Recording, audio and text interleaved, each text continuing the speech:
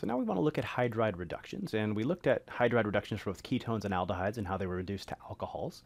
Uh, and we're going to see a similar pattern to what we saw with organometallics with our carboxylic acids and derivatives, is that they have the chance to potentially react twice.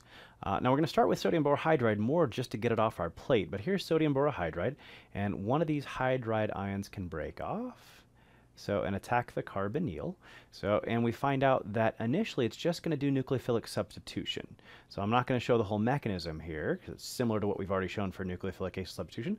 But end result is you're going to have a hydrogen replacing the chlorine. But because now you have an aldehyde, we learned that, oh, you can reduce ketones and aldehydes with sodium borohydride. It'll react again and you can't stop it. You're simply just going to go all the way to the alcohol as your product. So, and it turns out uh, sodium borohydride is the less reactive of your two hydride reagents. You've also got lithium aluminum hydride as your other common one. Uh, and so for sodium borohydride, it, yes, it'll reduce ketones and aldehydes. So, but out of the carboxylic acids and acid derivatives, it's only going to reduce acid halides and anhydrides. It's not going to reduce esters or amides or nitriles or any of those.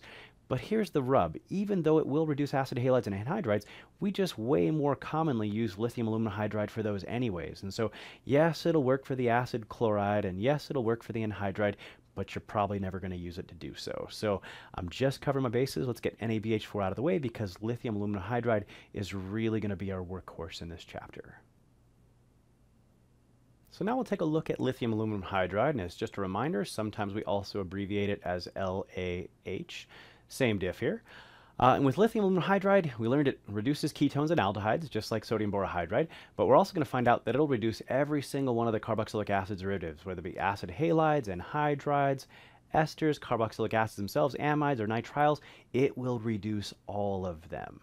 Uh, and not always the same reaction. We'll see a couple oddballs there, but most of the time, uh, very similar fashion getting alcohol. So if we look at with the acid chloride here, so here we've got the aluminum hydrogen bond more polar than the boron hydrogen bond, and therefore more reactive. One of these is going to break off one of these hydrides and come and attack, kick the electrons up to the oxygen, and do our standard kind of nucleophilic addition reaction. So we now have got this negative charge out on this oxygen. We've attached a hydrogen. We still have the chlorine leaving group. And again, rather than doing addition, just like with the organometallics, these electrons come right back down and kick off the leaving group. And as a result, we now have an aldehyde. And again, we learned that aldehydes can also be reduced uh, by LiAlH4, so you can't stop right here. It's going to go towards uh, all the way to the alcohol. So we'll add a second equivalent right here and get the alcohol. Uh, in this case, it turns out we have a slightly different reagent here. So, and if I want to stop at the aldehyde, instead of trying to add just like one equivalent, which doesn't really work, uh, we have a bulky uh, hydride reagent, which is lithium tri-t-butoxy aluminum hydride. And so in this case, you've got your aluminum group bonded to a bunch of these guys.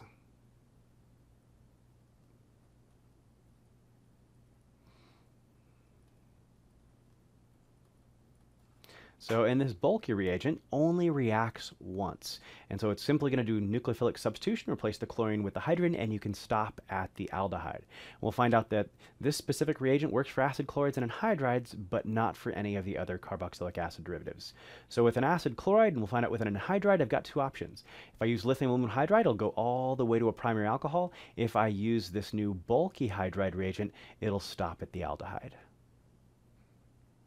Now, acid anhydrides work exactly the same way as the acid chlorides. Uh, in this case, the only difference is you just have a different leaving group, this big carboxylate. And it's not as good of a leaving group, so these aren't as reactive, but the reactivity here uh, ends up being the same uh, due to our reagents. So with lithium aluminum hydride, you go all the way to a primary alcohol, and with your bulky uh, hydride reagent, lithium tri-t-butoxy aluminum hydride, you get the aldehyde instead. Exactly the same as we saw with acid chlorides.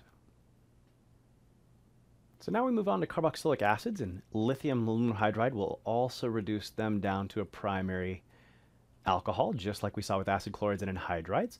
Uh, and we might think, oh yeah, so it does the first step and it does nucleophilic substitution, makes an aldehyde, and then it reacts again, so forming the primary alcohol. And it all looks like it matches up perfectly, except the mechanism is completely different. It actually doesn't work this way at all. Uh, but the mechanism is not super important here. I'm not going to take the time to cover it. It's not something you're usually on the hook for uh, in most typical classes. So uh, but just know that it is different than typically the nucleophilic substitution followed by nucleophilic addition pattern we saw earlier. Um, so that's lithium aluminum hydride. Sodium borohydride won't touch your carboxylic acid. However, we do have another option over here, and that's using borane here. So BH3THF uh, will also reduce a carboxylic acid to a primary alcohol. And obviously we saw this use with both alkenes and alkynes for doing anti-Markovnikov hydration, uh, but in this case, it's just a reduction to the primary alcohol from a carboxylic acid. But what's nice here is that this is selective for carboxylic acid. It won't react with the other uh, acyl groups. It won't react with like uh, your esters, or your amides, or any of the others. It's selective for the carboxylic acid. So now we'll move on to esters, and lithium hydride will work for those as well. And again, sodium borohydride won't touch them.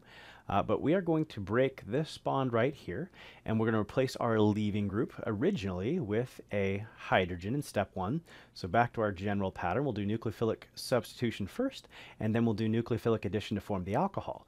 Now the big thing that's going to be different here, though, is that our leaving group is going to be on alkoxide, and we're also going to form an alkoxide, and then we H3O plus, and it protonates both of them, forming not just one alcohol, but two alcohols are leaving groups of second alcohol. So since our major product on the carboxyl side is an alcohol, and the leaving group's an alcohol, in this one instance, we suggest you keep track of both. And so we'll form two alcohols. The only time we wouldn't form two alcohols is if we form two identical alcohols. So some predict the products questions that can get a little bit trickier when you have like a cyclic ester or something like that, and you end up with a diol instead.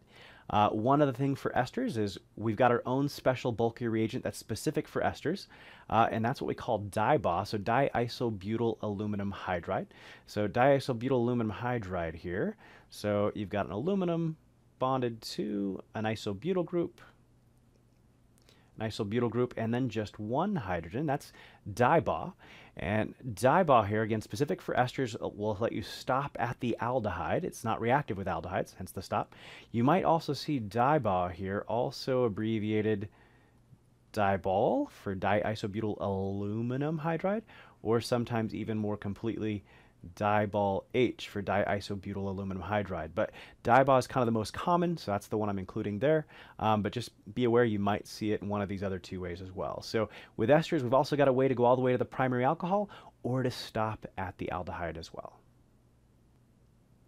All right, so the last two acyl groups we'll look at will be the amides and nitriles, and we'll find out that they are functionally distinct, different than the other reductions we see with lithium aluminum hydride. So if we kind of take a look here with amides, we're going to still do the nucleophilic attack uh, by one of the hydride ions in step one. We'll have now attached a hydrogen. So, and normally we'd say, okay, bring these electrons down and kick the amine off. Problem is, is that that would leave a negative charge on a nitrogen. Right now we have a negative charge on the oxygen, which is better. And so oxygen's like, hey, I'm going to bring these electrons back down, and amide, get ready to leave. And the amide's like, uh, you're a better leaving group than I am. How about we figure out a way to make you leave? And ultimately, that's what happens. And you don't have to know the mechanism here. I'm not going to cover it. Uh, so, but the oxygen ends up leaving rather than the nitrogen. And so your product ends up being an amine instead of an alcohol. Uh, and that's the big rub here. So complete deoxygenation here. So don't be confused here. This is not like the Clemmensen reduction or the Wolff-Kishner reduction, which are specific to ketones and aldehydes. Those are also complete deoxygenations of a carbonyl, but for ketones and aldehydes. This one is specific to the amide turning into an amine. So finally, we have the reaction of lithium aluminum hydride with uh, our nitrile in this case. And so I've drawn one of these out, and we're going to have one of these hydrides break off. And rather than attacking the carbonyl carbon of, a, uh, of an acyl group, it's going to attack the carbon that's triple bonded to the nitrogen instead. So, and that's as much of the mechanism as I really want to show, but you can kind of see after this step that we'd end up with a double bond of nitrogen. We'd now have a bond to hydrogen as well. So, and we'd end up with a negative charge here. So, and mechanistically from here on out, how you actually get here is not important, uh, not something you're usually on the hook for, but I just want to kind of show you how to get this started to kind of reason it out in your head. So, but eventually we will end up turning this into an amine. And so turns out amides and nitriles both get reduced to amines.